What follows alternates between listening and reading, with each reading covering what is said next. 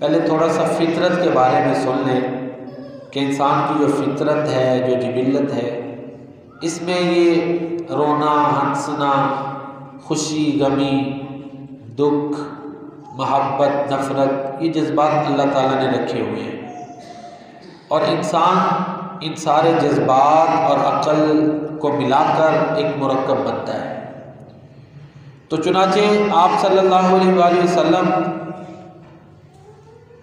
भी इसी तरह सईदुलबशर हैं और औलाद आदम के सरदार हैं।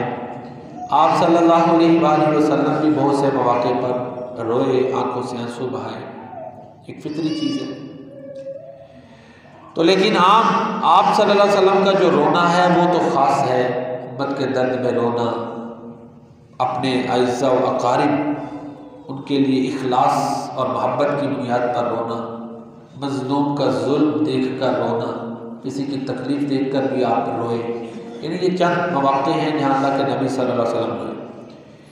तो इंसान वैसे आम तौर पर हमारे यहाँ बाज़ दफ़ा ये भी होता है कि बहुत ज़्यादा जब खुशी होती है तो खुशी से भी आँखों से आँसू जारी हो जाते हैं। इसी तरह डर, जैसे बच्चा रोना शुरू हो जाता है डर से डर से भी बाज़ दफ़ा आँसू जारी हो जाते हैं। ये फितरी चीज़ें हैं। इसी तरह कोई तकलीफ़ जिसम में है, जहनी, जिसमानी तकलीफ़, दर्द है, उससे भी आँसू जारी होते हैं। बाज़ दफ़ा कोई दुख होता है अपने किसी बिछड़ने का, किसी नाकामी का, उस दुख की जब कसरत होती है, ज़्यादती तो फिर भी आँसू जारी हो जाते हैं।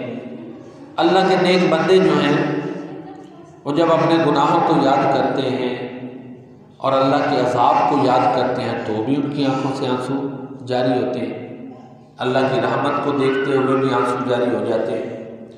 इंसान बाज़ दफ़ा अपने किरदार पे, माजी पे जब नज़र दौड़ाता है, देखता है कि मेरे मेरे पल्ले कुछ नहीं तो फिर उस वक़्त भी बाज़ दफ़ा आँसू जारी होते हैं।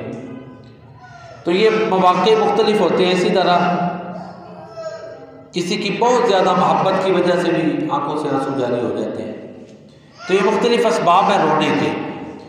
बाज़ दफ़ा दिखलावे का रोना होता है, या बारी का। हमारे यहाँ कुछ, अब तो चलो ये रवाज ख़त्म हो गया है। हमारे यहाँ, पता ही है फौतगी के ऊपर, कई दफ़ा ऐसे ही बस अरबों में भी ये रवाज था कि ये बैन एक दूसरे का जब फौत होता था तो करते थे। बाकायदा एक ख़ातून का मिलता भी है कि जब वो इस्लाम लाई तो कह, अल्लाह के नबी फ़लाँ का मेरे ऊपर बैन उधार है मातम नौहार तो मैं कर रहा हूँ, इस्लाम ने इनसे मना किया हुआ है। तो ये भी होता है। पहले काफ़ी होता था। हमने खुद देखा है कि बाद दफ़ा रोते रोते हाल चाल पूछना शुरू हो जाते हैं, ऐसे मौके पे। वो एक अजीब सी कैफियत होती है। तो बहरहाल, मुख्तलिफ़ इसबाब हैं।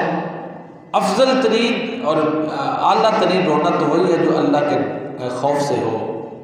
उसी की वैल्यू है। बाकी फितरी तौर पर इंसान रोना ये अल्लाह ने इसकी इसकी फितरत में रखा हुआ